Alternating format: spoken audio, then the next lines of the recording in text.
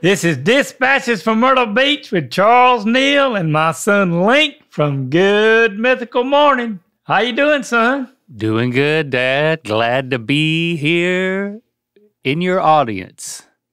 Uh, and I, I'm trying to figure out. Uh, I'm looking at myself, and you're wearing me. yeah, that's right. You don't remember this shirt? One, two, three, four, five, six. There's at least there's at least twenty of you on this shirt. Okay. You, you don't remember the shirt? Didn't we wear this Yeah. when About a year ago, actually. about a year ago? I I just found it hanging in the closet. I was like, you should also have one in your closet. yeah, you should have one, Dad. I actually Uh, yeah, have. I didn't. I think I still I have. don't it. have one. Uh, I have the yeah, one. I, I, have the one that has That would be my correct. face all Yeah. over it here. I need to give that one to you because I saw that one. I was like, oh, here's a.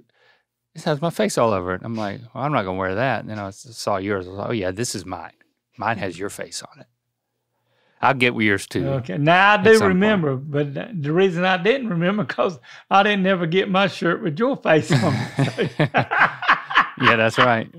You got to come back out here. We do it. Do some of these in person again next time you come out. oh yeah, yeah. I think we're trying to do that, but Okay. I don't know how that's working out. But Oh, all right. Well, we'll work. We'll work something out. I'm sure. How about you? How you doing? well, I've been pretty good. Uh, it's nice to be getting back and seeing you like once a week, and Yep. us, me and you talking, and Your toe getting better? yeah, my toes well. Okay, It's good. It's it's good. I don't Yeah. have to worry about it anymore. No, no, won't no need to worry about it anyway. So Speaking of well, uh, we we we should give an update on Nana. Na- Nana is uh, doing very well, waiting to go back to the doctor that did the surgery in August the 23rd, where he'll kind of just turn her loose. But she stayed in rehab for 21 days. Mm-hmm. and I don't know, and and she was doing like she needed. She could get up and walk enough to get get out of the bed by herself and uh, go to the to the bathroom by herself and with walking with the walker and some different stuff. But Link and I think you talked to my sister, so I I, I don't know if those people. Uh, got mine and my mama and your nana out of there in 21 days because she was doing what she was supposed to, or them people was scared to death of you, my sister and your aunt Tisa because she was she was giving them people hell because they weren't doing what they were supposed to, and get Giving getting her the right her medications medicine and like stuff, she yeah. was supposed to, and when her 21 days was up they sent her on down the road. I don't you know. Of course, Mhm. in Mama's home at at Teresa's house, and I talked to her. I, yeah, I talked to her about every day, but uh, she was doing good, and Teresa said she was doing good. So, uh, you know, uh, for for a 92 year old it had that hip surgery done again, and and Yeah. go to rehab and stay there three weeks, and kind of going back home to Teresa's house and where she's getting to where she might in in the near future get to go back home to her house. So she's And doing really good. So you heard from Nana the conversation that I had with her before she went into surgery, and what- Mm, Yes, I. and what I she told you what I told her. Yeah, she told. Yeah, she told me when you you know before she went into you said, "Well, I sure hope you make it through the surgery, Nana, so I don't have to come back from Hawaii." I yeah, I said, and she said, "Well, I don't. If something happens to me, I don't want you to come back." I was like, "Nana, I'm just joking with you. You know that I will be there, and I'm just trying to use this to to give you even more motivation to to fight your way through this surgery and do what it takes to to get better." I don't think she needed Yeah. that motivation. I don't know if she, I think she took it as a joke, but I was like, "Don't make, don't you make me."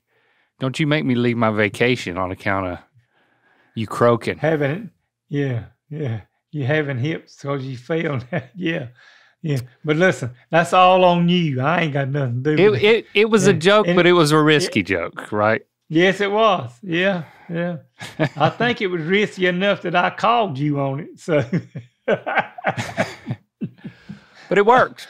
She's doing good. it worked. Yeah, See? something worked anyway. Yeah. Yeah, It, it worked. My Yeah. joke, my joke worked. between your work and the good Lord looking after her and the doctor taking care of it, it, all worked. Yeah, yeah, I- yeah. I'm And then we don't have to rank the like Yeah. what had the what had the biggest effect of those three things. They all they all did. Yeah. Well, I didn't have. I I'm not taking any responsibility on how well she did. Uh, so I, I'll just leave it at that. Okay. Yeah. All right. That's fair. But you know what, Logan? Uh, Yeah. we're talking about um, our nana, my mama, Mm-hmm.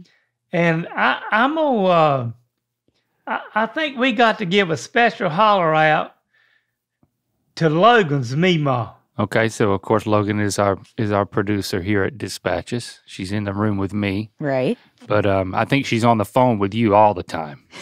That's true. Well, So what is the deal? You you you, you need to do what? it kind of, it kind of, I, and h- how old's your Meemaw, Logan? She just turned 83 yesterday. Okay. Well, she she's an avid fan of the my podcast or Okay. ours, Yes, yes, whatever, it's yours. and listens to it and all of it. But she, I think this is the way this working. Logan, you can tell me not, but she called Logan on the phone one day and told us that me and you was getting a little risque. oh, uh huh. And so Logan's me, Ma. I, I'm I'm giving you a holler out today and telling you, well, I'm sorry on some of the things that me and Link get into on the show.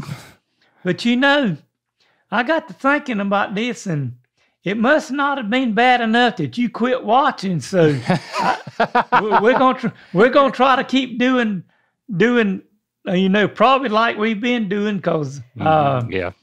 I, Let's be I'm kind of like you, uh, me, Ma.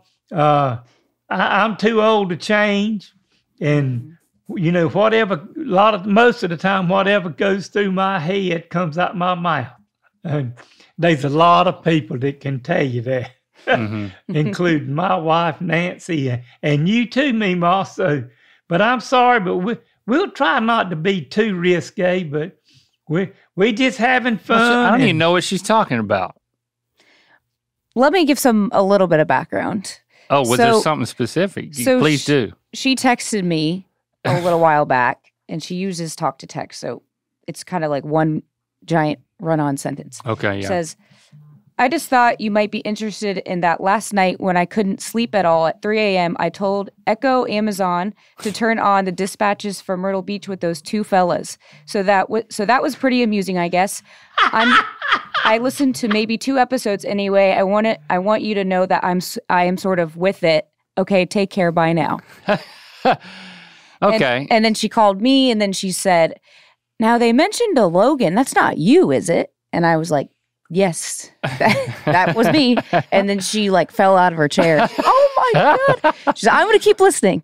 So then I get a call from my mom and we were talking. And then she was like, Now, Meemaw's just not kind of upset about how raunchy it gets. It's like. God.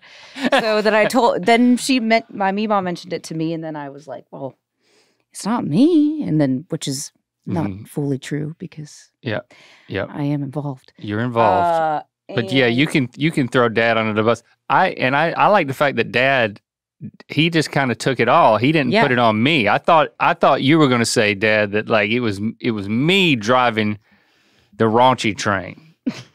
Oh no, you know, you, you you keep telling me this is my podcast. So I mean, if, if Logan's Meemaw calls in, I'm taking full responsibility No. for it. I- Yeah. Yep. So she uh Yeah. But we're just being honest. I mean, we're just being we're just being real, and we're but we're also being silly. And we yeah, it gets you know we're human. Mm-hmm. and you we know, need some of the Meemaw needs to get a little raunchy. Is what I think. Mhm. S- s- Some Meemaw. of the, pa- s- some of the tells me you've that been people raunchy. send in to us. Uh, I, I can't help what they send in. So. Mhm. but I just wanted to say that I'm So- sorry, Meemaw. Love you. Meemaw doesn't become a Meemaw unless there's a little bit of risque things happening. That's that's true.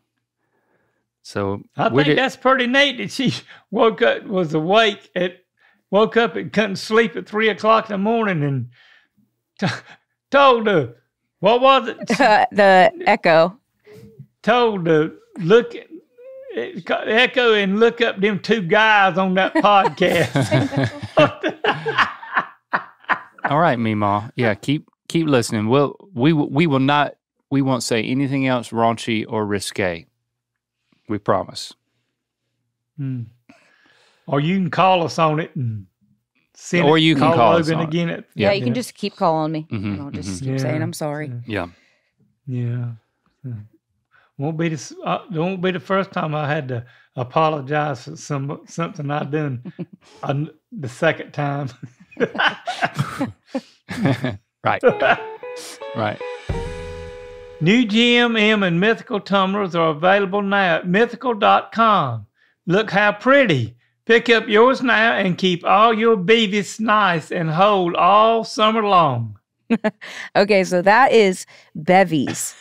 It's an abbrevi- It's a um a shortened word for beverages that people say now. Your bevy. Beavies. Okay. bevies. All Yeah, all your bevies. First thing coming to my head was Beavis and Butthead. Damn, I thought. Okay. Not wrong. I reckon we have to do that again. then. We could just do and keep all your bevies nice and cold all summer long. Pick up yours now and keep all your bevies nice and cold all summer long. Nice. Now you can say bevies. You learned another word. Bevies. Yeah. Why do you want to learn a new language? Maybe you have an upcoming international trip, want to connect with a family member or friend, understand a certain pop culture, or just want to learn a new skill. In comes Rosetta Stone, the most trusted language learning program, available on desktop or as an app. It truly immerses you in the language you want to learn. Rosetta Stone has been a trusted expert for 30 years with millions of users and 25 languages offered. It provides fast language acquisition with no English translations, so you really learn to speak, listen, and think in that language. Plus, their built in true accent feature gives you feedbacks on your pronunciation. It's like having a personal trainer for your accent. Don't put off learning that language. There's no better time than right now to get started. For a very limited time, Dispatches from Myrtle Beach listeners can get Rosetta Stone's lifetime membership for 50% off. Visit rosettastone.com slash dispatches. That's 50% off unlimited access to 25 language courses for the rest of your life. Redeem your 50% off at rosettastone.com slash dispatches today.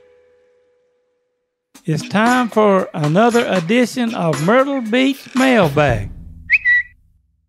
Link, we got an email from Alice Okay. and says, I'm Alice from Northern Italy and I've been following dispatches from the very first episode. Wow. Thank you, Alice. I, fi- I finally got to meet Rhett and Link during the Good Mythical Tour in Raleigh. At the end of the show, when we were applauding, I apparently clapped my hands so hard I literally popped a vessel in my left ring finger. It went blue and it got swollen for a while, but fortunately, it didn't hurt too bad and a few days later it was all he all healed. Wow. I didn't know you could clap your finger to to that degree. She she she was having a good time with everything that was going on. And she said, however, This prompted me to ask the question What is the weirdest or funniest injury you and Link ever got? well, have we ever both had this uh, the same injury at the same time? I don't. I don't think. I don't think it can be that serendipitous. No. All right, you go first. What's the weirdest injury or funniest injury you've ever gotten? Well, Alice, when uh, I remodeled a hundred and some year old house back from like 2000, from uh, really 1999 till like 2003 before we moved in it. And I tore the roof off of it and was sheeting the roof, and I was doing all this by myself. And I was crawling down the roof and had the nail gun was nailing and holding something, and I looked at my hand, and this finger right here that's still kind of bent a little bit, it was laid all the way down just like that, Okay. and it would not come back up. It was just like that. It was touching the center of the palm of your hand. palm of my hand. And these other fingers are sticking just straight up as they could be. I mean, and I looked and I said, man, ain't that a heck of a thing? I mean, and it, it didn't hurt. It never, I didn't feel nothing pop, hurt, or nothing. So I was working on that roof. So I, I, I did a little more stuff and I said, well, I can't do what I'm doing. But I, so I just crawled down, went and got me some duct tape and taped it around these three fingers here and taped it up straight and just left it like that and finished working. And then Okay. I said, there ain't no need for me to go to the doctor. It's kind of the weirdest. it- I've had some injuries, but it's about the weirdest injury I ever had. So I left it like that, and then I'd take it a loose, and it would still fall back down. So I finally I went to the doctor, and they said, "Well, it'll probably straighten back out." And so I spent all that money, and he wanted me to put a splint on it, and I said, "I don't need no splint." I done tape this thing to other three fingers. I just tape it up there and leave it like that. I, I don't need a splint. So that's what I did, Alice. Okay. And after about this going on for about a month, it it finally kind of, except for right at the top of it, it it straightened right back at. Hold it up. Hold it up. Sti- So I guess that you didn't tape it. You didn't tape the the fingertip. I Is that, reckon. is that what happened? You should have. Maybe you should have used a splint. I don't know. That might. Maybe that would have done better. Uh, yeah, I thought you were going to tell me that you nailed your finger to the palm of your hand, Whew. but you didn't do that. What was their explanation? That the tendon It, I guess it spasmed or something? pulled that tendon. I and I asked him, I said, "Well, did it come out of socket and just go back in or something?" No, I didn't ever get a good answer about all that. And it Uh, never so- hurt. Never hurt. That's weird. Mm, so I think the weirdest injury I ever had was um, I was um I was trimming uh, I was trimming some hairs in my my nether region, and uh, I got just and I was using clippers, and I got distracted by something, or I had to do something, had to had to move, and uh, as I was moving to like shut a door or something. I think I swung the clippers onto onto a something else that was swinging, that was attached is to this me, is this scissors, clippers or like like a that could buzz, give you like a oh buzz your hair with a military cut. like Okay. plugged in in a wall type of thing.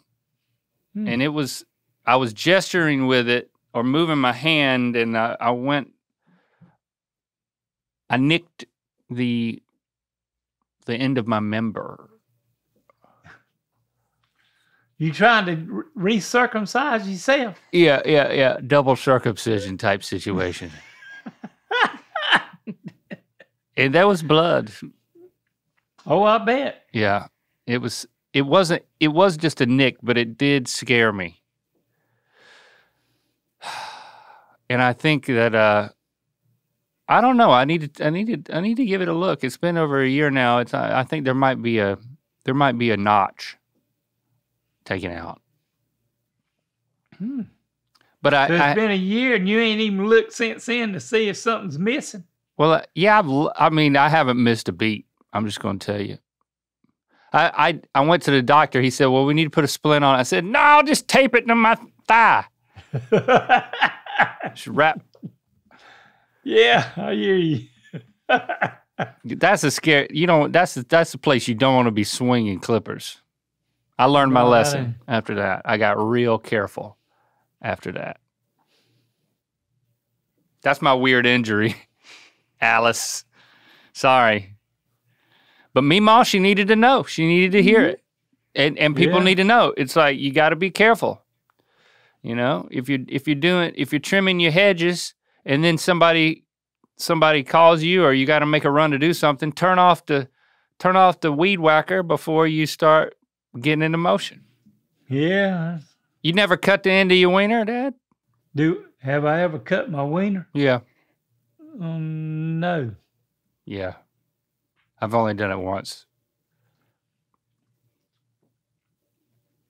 Well, this don't have no Alice. This don't have anything to do with what, something me and uh, Link did. But about three weeks ago, Nancy was had Gypsy, and she was clipping the hair around her mouth and getting all. And Link knows Gypsy don't have no teeth, Right. and she and she keeps her tongue hung, hung out to the side like that all the time Oh no, she c- okay.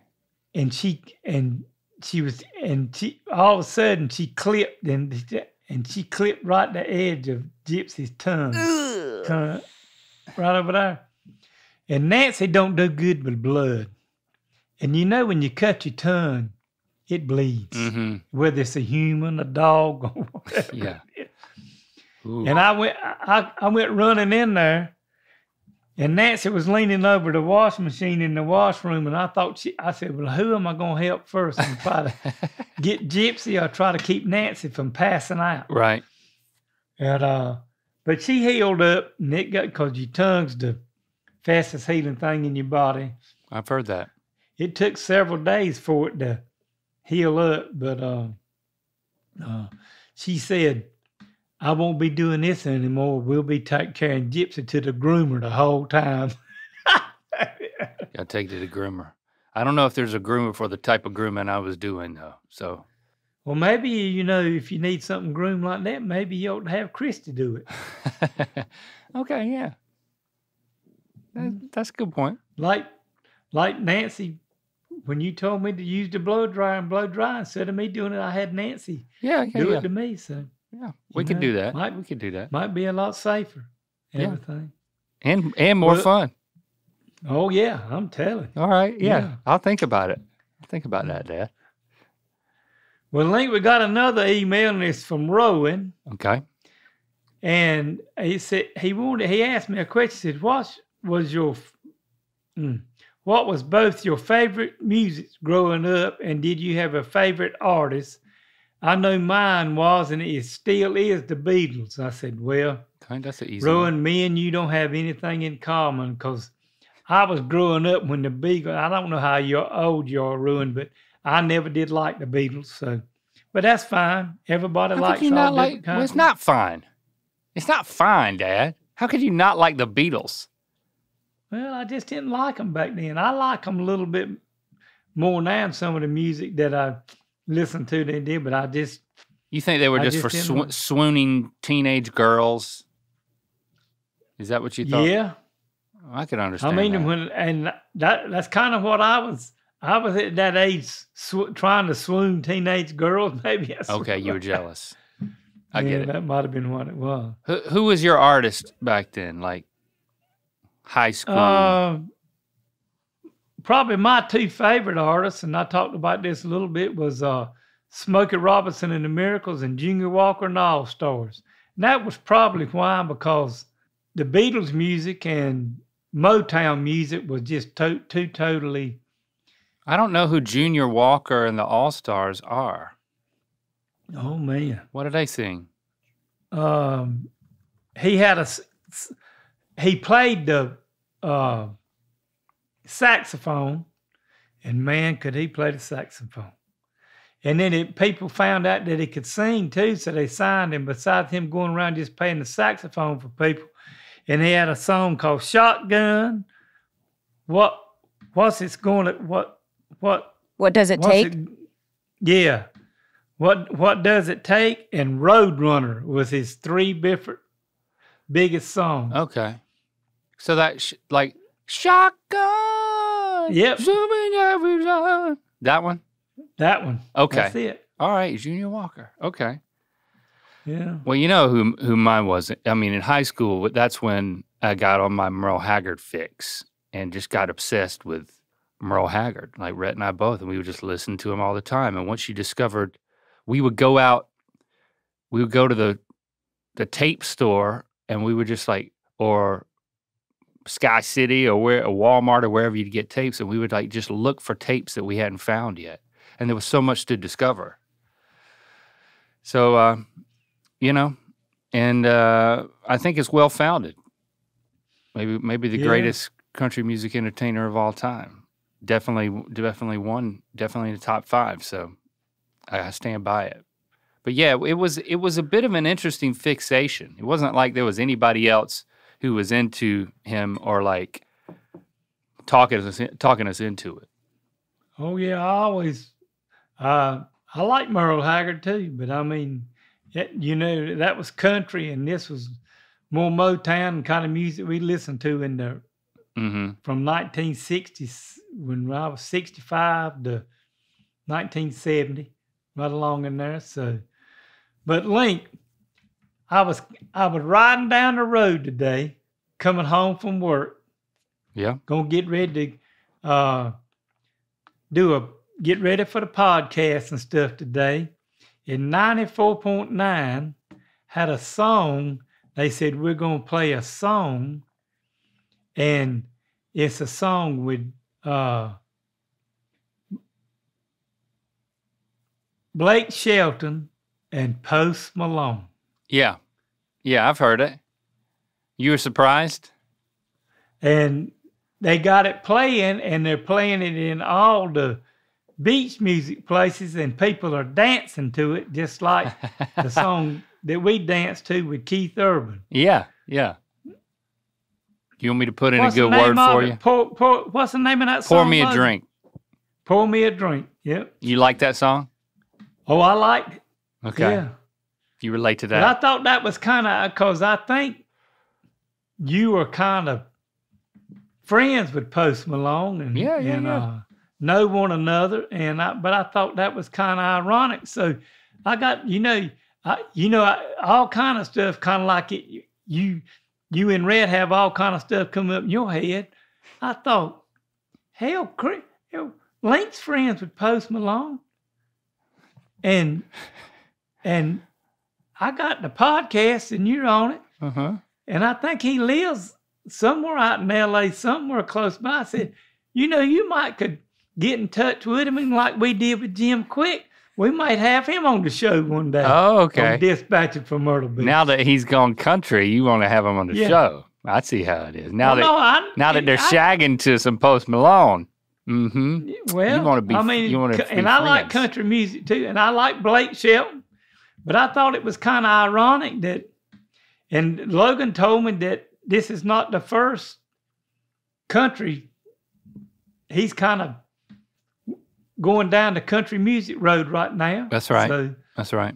so uh, you know, I'm just kind of trying to look look after our. Okay, yeah. Uh, I, I'll I'll I'll look for an opportunity. We'll see. I'll see what we can do. Well, I'm, I'm just asking. Yeah, I- but I, I thought that was kind of ironic because I knew you had brought up to me even I, a couple of years ago when we were, I think when we were in L.A. that you were going. I think you were going to see Post Malone. Yeah. And, um, Yeah, and- well, there, there, sometimes we'll go longer not seeing each other. Depends on he's he's he's he's hard to pin down. He's all over the world. Oh yeah. But yeah, sometimes we we'll, we'll usually reconnect at least once a year. So I'll see. Well, I- I I'll put in a good word be- for you. I, I just thought you'd be interested because we've been. He's it's made his way to your to your radio radio airwaves. and Jim Quick was playing it on his show today. So uh, I thought that was pretty neat that uh, some of the some of the stuff we've done is kind of coming around full circle again. That's it. That's it. We all need to hang out. He'd like you. well, That's for we sure. might can work that out. Okay. It's time for another edition of Lights, Camera, and some Southern Fried Action. All right. You remember we did the father son scene from Star Wars, and uh, now I want to do one from Indiana Jones. I think it's it's, it's the third one, The Last Crusade. With uh, have you seen that one? Yes, Where his his dad is played by Sean. Uh, starts with a C. I know it starts with uh, Connery, yeah, Sean Connery. James Yeah. Bond, one of them. Yeah. Okay, James so- yeah. Do you have the you have the script in front of you? You can. I'll I'll be Link Deanna Jones, and you can be Charles Jones Senior. yeah, So we're in the we're in the castle room, and uh, Link Deanna and Charles are tied back to back in chairs. You remember this? yep. All right, you ready? Here we go. Let's try and get these ropes loose. We start pulling at the ropes with great urgency.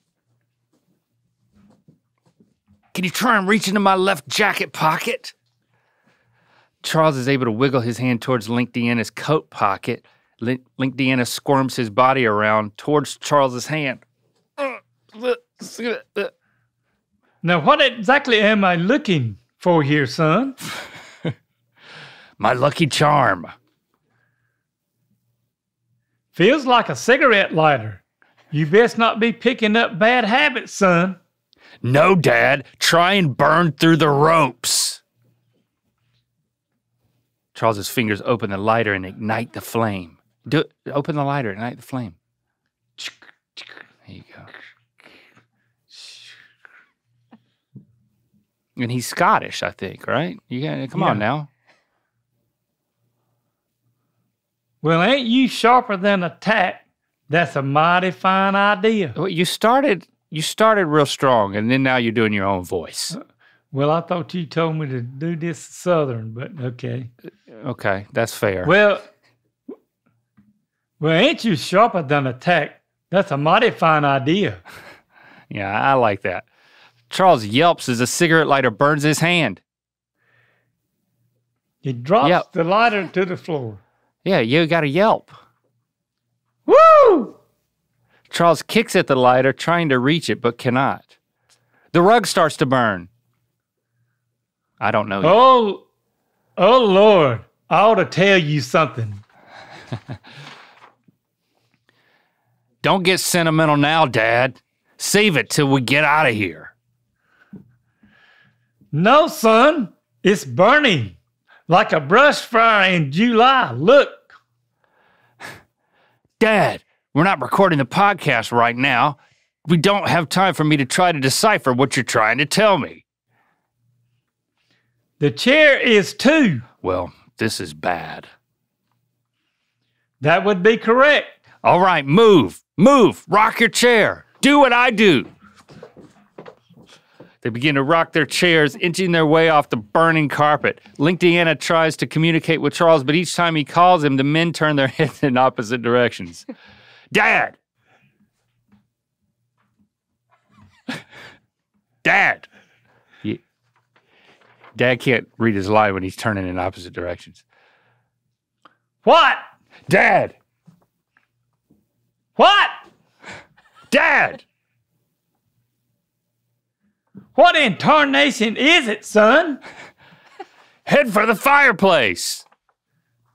Oh, banging, rocking, and hopping their chairs. They work their way into the fireplace, the only safe place from the roaring fire. I think I can get these ropes off. that dog won't hunt. These ropes, these ropes are too tight. Link Deanna struggles to free his hands. His foot kicks out and accidentally hits a metal grill that operates a secret door. Whoops!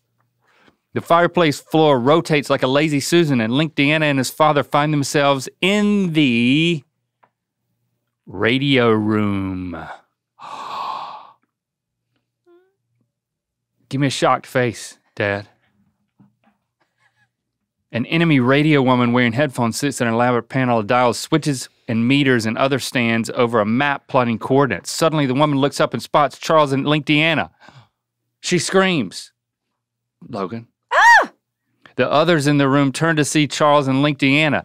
Two draw their revolvers and fire several shots at Charles and Link Deanna. Let's hear the shots, Dad. Bam! Bam! Link only two. Okay. Link Deanna and Charles rotate into the room, which is now an inferno. The carpet, drapes, and furniture are all ablaze. It's hot as Hades in here. I'm sweating like a whore in church. Link Deanna finally breaks free. I'm out, Dad. And he immediately begins to untie his father. Atta boy. and scene. Yeah, it was good for you to do your own voice. That worked out better. I've got I got an attaboy. That was basically the whole reason we did that, you know, just to back you into that. Okay. All right, that's a good movie. I think I mean I Oh, remember yeah. the scene where they're both they're both flirting with the same woman. I think it might have been right before that. Yeah, it was right before Yeah. that. That's a good movie. That's a good father son movie, Dad. We should reenact the whole thing. Yeah. but we're out of time. Yeah, we have, yeah. Well, uh, Link, it's been a interesting show again today, and I hope all you Myrtle Beasts enjoyed it and everything that's been going on. And it was fun having you all here with us today. And we'll be back next week for another one. And don't forget to follow, subscribe wherever you get your podcasts on YouTube. And while you're at it, rate and review us on Apple Podcasts. And if you got a question, comment, or story you'd like to share with me, email me at ratherbeshaggin53 at AOL.com. And y'all have a great rest of your week, and we can't wait to fight amongst the fire again next time. Mm-hmm. Dad, Yeah. Dad, Dad. Yep. What? What? Love you. I love you. See you next week. Yep.